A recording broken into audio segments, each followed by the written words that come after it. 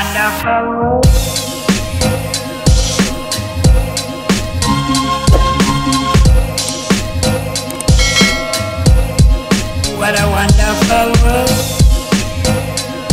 Hola familia Spanglish, ¿cómo están? Y bienvenidos a otro video a mi canal. Déjenme acomodo un poquito.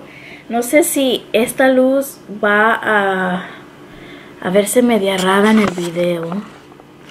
Pero a lo mejor me debería de cambiar. Déjenme me cambio de posición porque siento que se ve muy muy oscuro aquí. Espérenme. Ok, ya me cambié y ahora siento que se ve mejor. Ok, bienvenidos al video del día de hoy. Este es un video que les prometí el año pasado. El- yo creo que fue como los dos últimos videos del año pasado que les quería hacer como... No sé cómo ponerle a este video porque en mi mente como que lo tengo claro, pero cuando lo quiero decir como que no sé. Pero como que las cosas buenas y las cosas malas que me pasaron en el 2019, ¿ok? Es algo como que en mi corazón siento que lo quiero hacer y porque, no sé, como que siento que no todo fue tan malo para mí. Ay, Dios mío.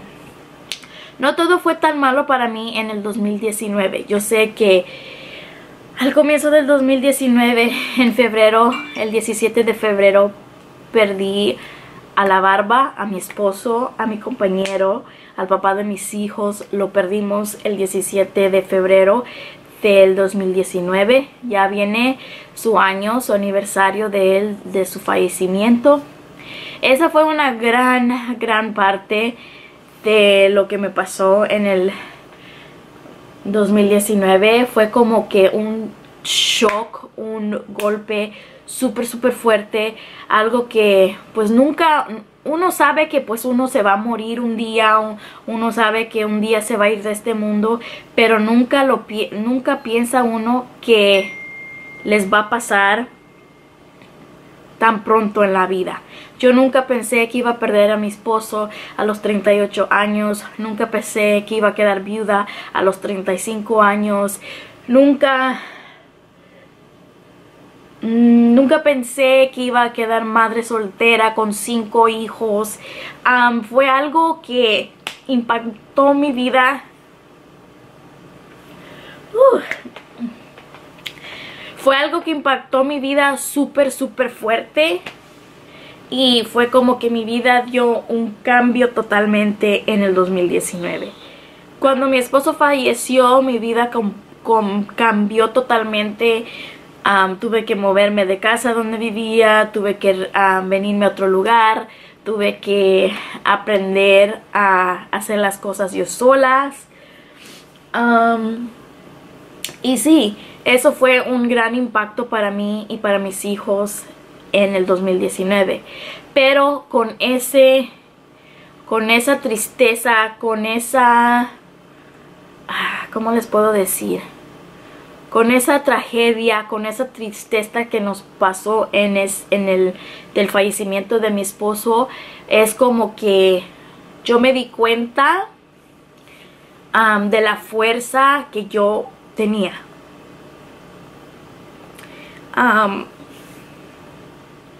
Dije que no iba a llorar y pues, yo soy una llorona, les digo. Ok. Me di cuenta de la fuerza que yo tenía entre mí. Una fuerza que yo nunca, nunca pensé que iba a tener. Me duele mucho que mi esposo no esté conmigo. Me duele todos los días. Todos los días me levanto y digo que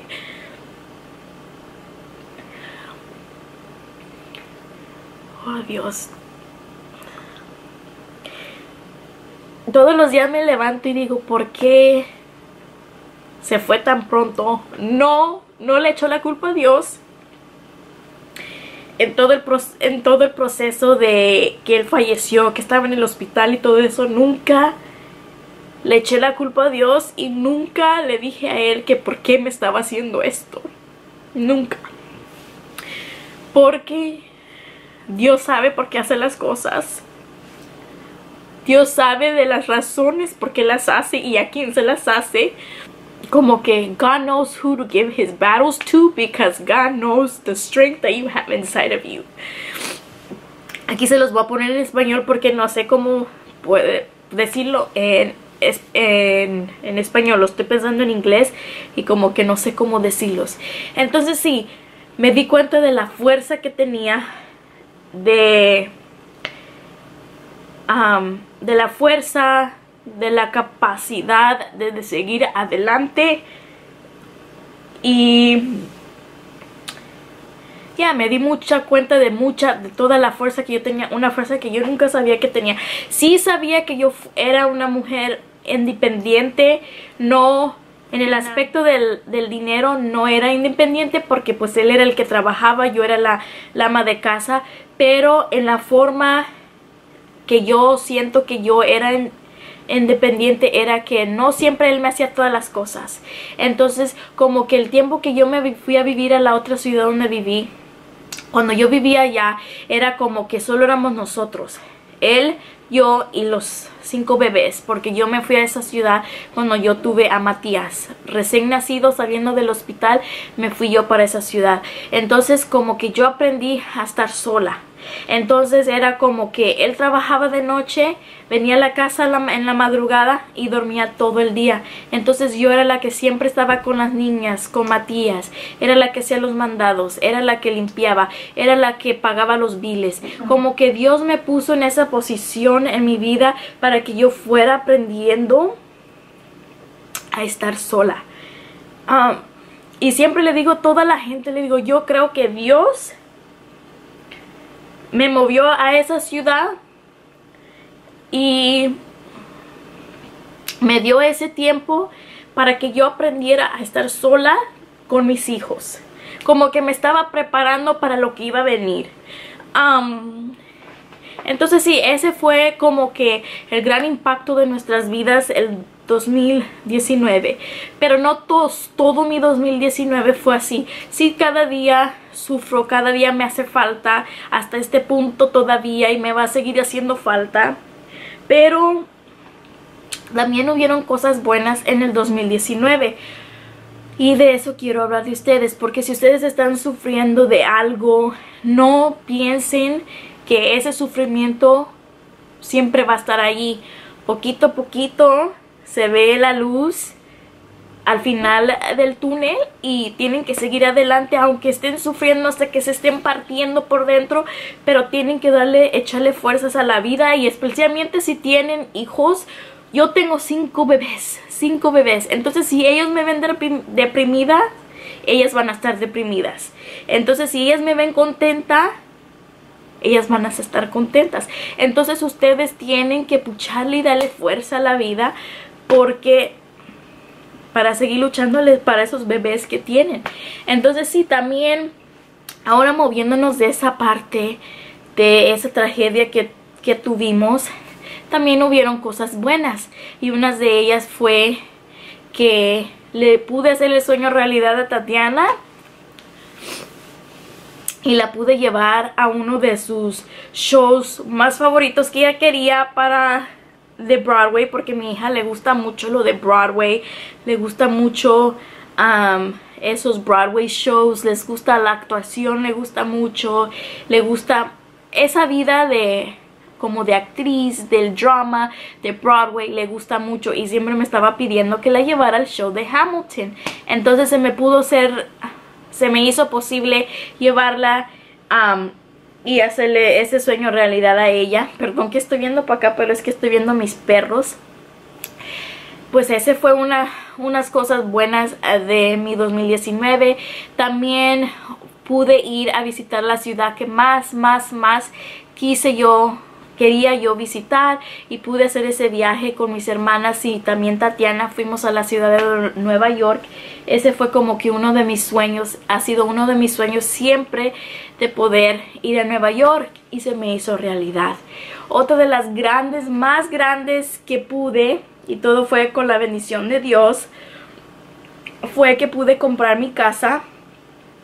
Ya vivo yo en mi propia casa, con mis hijos, yo solita con ellos.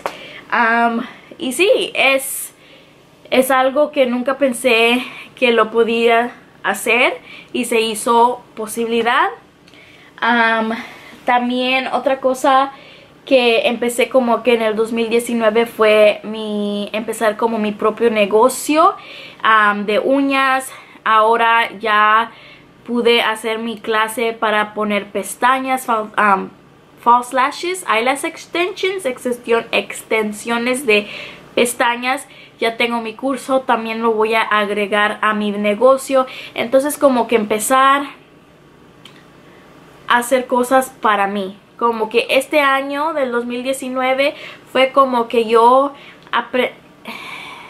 no quiero que se oiga mal, pero cuando yo estaba pues casada con la barba, pues todo era mis hijos y mi esposo y uno a veces se olvida de cuidarse a, a sí misma y hacer cosas que las, los, las haga a una felices. Entonces como que yo en 2019 fue como el año donde yo sentí que empecé a hacer cosas para mí misma. No era tanto que yo soy la última, como que empecé a hacer cosas que a mí me hacían felices y entonces eso fue una como empezar mi negocio, mi casita y les voy a decir una historia de mi casa.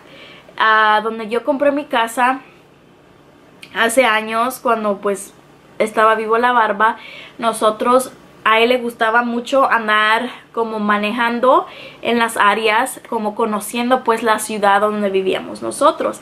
Entonces había como una sección, un vecindario donde él pasamos y, y había una casa de venta y dice él, mira, esa casa yo te la voy a comprar, esa va a ser tu casa, está bien bonita de adentro y, ah, y yo le decía, ok, ok, ok, porque ese era su gran sueño de él, pues comprarnos nuestra casa. Entonces, antes que él falleciera, ya estaba bien cerquitas él para poder comprar casa, pero no se pudo. Entonces, cuando yo vine a comprar esta casa, me gustó y gracias a Dios se hizo, la pude comprar y la casa donde yo vivo ahorita está a la vuelta de donde estaba la casa que la barba me quería comprar. Muchos me dicen que fue la barba que me, que me trajo pues para esta casa y pues no sé. Pero sí, yo vivo cerquitas de la casa que él un día me dijo que me iba a comprar. Yo compré casa como a un bloque de donde está la casa que él me iba a comprar. Pero sí, esa es una gran, gran cosa que me pasó en el 2019 que pude comprar mi casa, que ya estoy independiente, ya no vivo con mis padres, ya yo vivo sola con mis hijos y al principio sí como que me tenía que acostumbrar porque pues nunca he estado solita, aunque antes que tuviera mis niños nunca viví sola, siempre viví con mis padres y esta es la primera vez que yo vivo sola, que yo decido cómo hacer las cosas. Entonces, sí, esa fue una de mis grandes metas del 2019. Um, ¿Qué más les puedo decir? He aprendido que todo lo tengo que hacer sola. He aprendido cosas, les digo familia Spanglish. Yo he hecho cosas que nunca en mi vida pensé que iba a hacer. Nunca sabía, yo nunca sabía usar, usar un drill para hacer como hoyitos, poner, armar cosas. Yo fui que armé todas estas cosas. Yo he armado bien muchas cosas en mi casa. He clavado muchos clavos. He puesto cosas, cargado cosas pesadas. Es como que yo estoy haciendo mis cosas y como que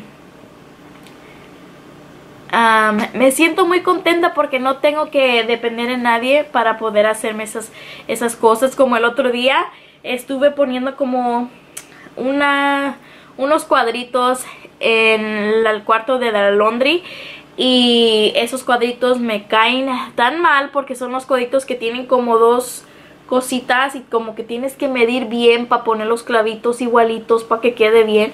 Entonces yo lo hice a la primera, lo hice y le digo a, le digo a la Adrina, le digo, oh my God, Adrina, gracias a Dios que lo hice.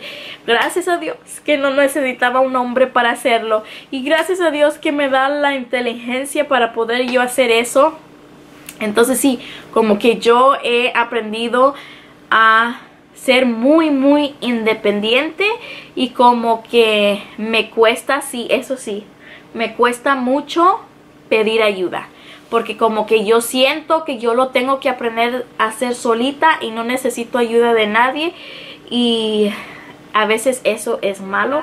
Pienso que eso es todo lo que les quería compartir de lo bueno y lo malo que me pasó en el 2019.